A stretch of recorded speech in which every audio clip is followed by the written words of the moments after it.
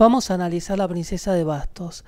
Por empezar es una mujer, generalmente joven o con un alma jovial, ya que la princesa representa justamente una mujer muchas veces soltera y que tiene el futuro por delante, y donde está cargada de ese entusiasmo.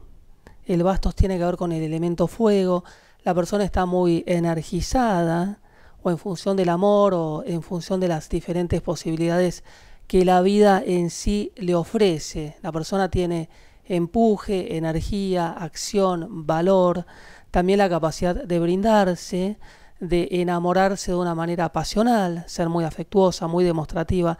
La persona está vivenciando en la vida un momento alegre, cargado de endorfinas, que puede activar de una manera positiva.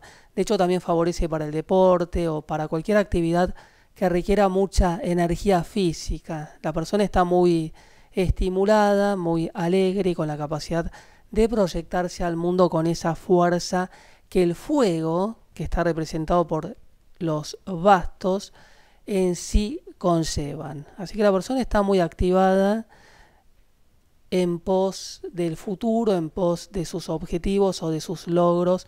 Obviamente en el amor la persona vivencia esa relación con mucho empuje, con mucha alegría, también las actividades físicas o los deportes.